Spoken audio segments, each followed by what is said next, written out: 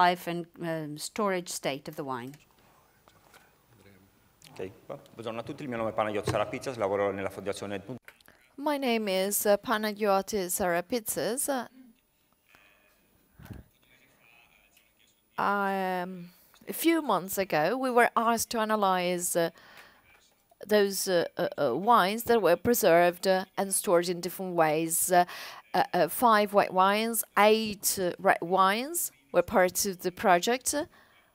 Of all of them, there was one uh, control wine at 4 degrees for the whole duration of uh, the experiment. Then uh, one bottle that was preserved at uh, 13 uh, degrees uh, for 10 days and another for 90 days. Then at 13 degrees centigrades, here again well, no, at 35 degrees centigrade, so we have uh, 5 days, 10 days, and 15 days. And at 45 degrees centigrade, uh, we had wines preserved for 1 day, 5 days, and 10 days. Normally, when colleagues uh, say that uh, experiments uh, are made uh, with wines at very high temperatures, uh, I tend to be critical and think that you cannot boil the wine to carry out uh, your investigations. But then when I use temperatures as high as 45 degrees centigrade, well, I realized that this is similar to real life situations.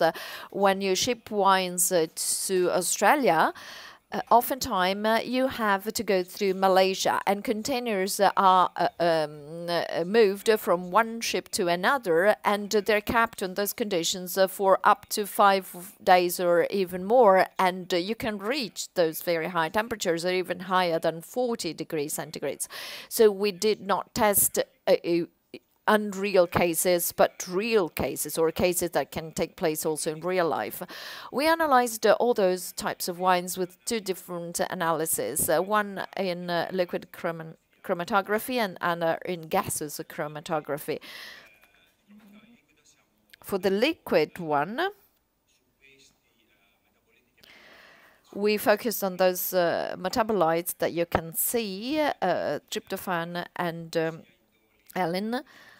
for uh, uh, polyphenols and thiols, especially for these compounds that you can see here that are uh, formed in wine, uh, um, because uh, there is a um, SO2 that is also formed. This is a tannin that reacts to SO2 for this carbon, leading to the formation of these compounds uh, uh, for the uh, gas chromatography, it was carried out by some colleagues in our lab, and various uh, uh, terpenes, uh, acids, esters were analyzed. And then we tried to see what happens, what are the, which are the metabolites that change.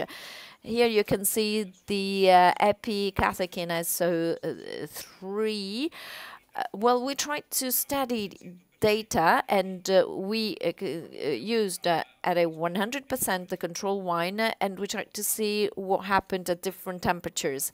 Here on the top you can see what happened for uh, red wines. Every line indicates a red wines. Uh, data for white wines uh, are uh, uh, at the bottom of the slide. You can see the various uh, temperatures 13, 35, 45 for the two compounds epi catechin SO3H and the other one. Here you can see that there are some temperature markers. In some some cases, we noticed that there was an increase up to 600, where six times uh, more for a, a, a, wine that was preserved uh, at that very high temperature.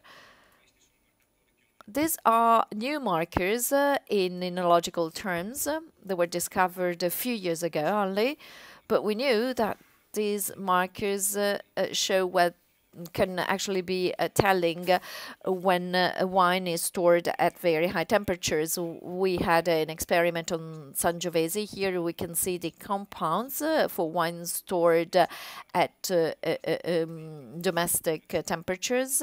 Then there is an increase for the various wines, whereas in the cellar we can see that there is a higher level of stability. We published another article, and uh, there we uh, uh, demonstrated that if uh, tannins uh, are uh, uh, very rich in uh, young uh, wines, the sulfur products of tannins increases in terms of concentration in aged wines. And if temperature increases, this reaction is enhanced so concentration is higher and even um, more rapid uh, than at lower temperatures.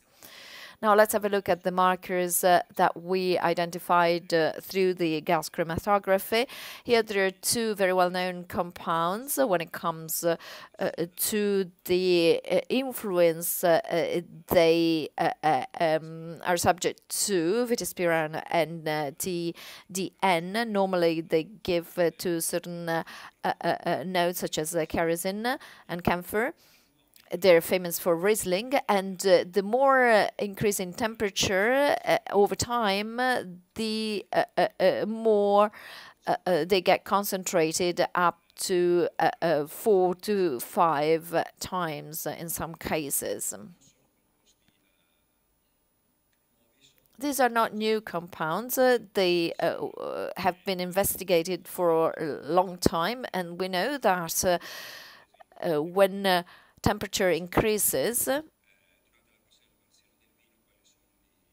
what we know that there is a, a, set of uh, chemical reactions, and we know that younger wines are uh, uh, uh more fruity and they lose that fruity um, aroma over time, and some other notes, such as kerosene, increase, especially for Riesling wines, and those notes are well correlated to TDN, which is a stable compound.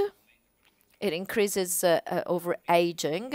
It can cover uh, the fruity notes. the lower the pH in wine, the higher can be its concentration, and it is affected by temperature.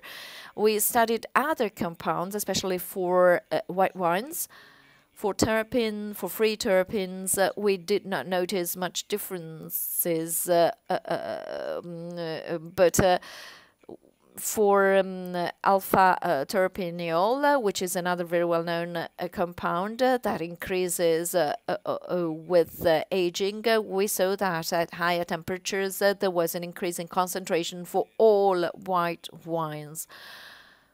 This has not been the case for red wines, not all the times. some esters, and we want them in wines because they give a fruity note.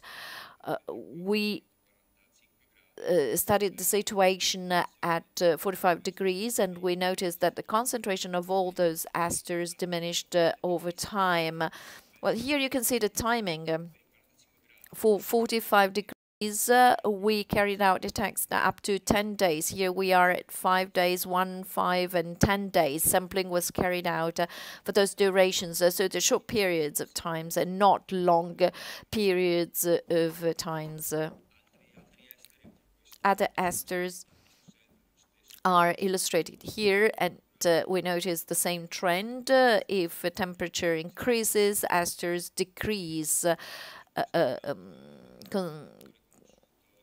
well, here we have the furfural, another marker that increases uh, uh, if uh, the wine is uh, stored at high temperatures. Uh, and for both uh, white and red wines, its concentration increased by up to eight times for some red wines. This is a very important marker for wines that are stored at very high temperatures. And I would like to thank uh, um, my uh, colleagues uh, who uh, worked uh, in the uh, gas uh, chromatography uh, uh, uh, sector, and I would also like to thank Francesca, uh, uh, who's worked on those wines, and Johnny. Thank you.